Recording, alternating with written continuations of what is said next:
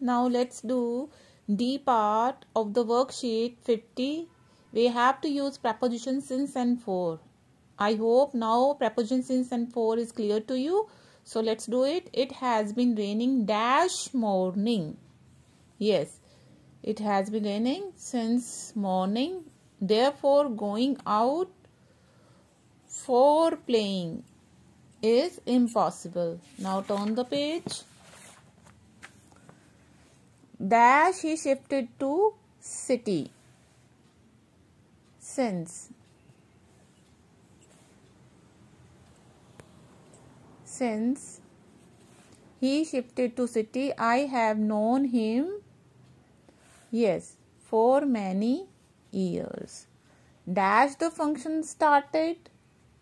Since the function started, organizers were worried for the chief guest. Dash completion of this task. For completion of this task he has been working since 1999 okay students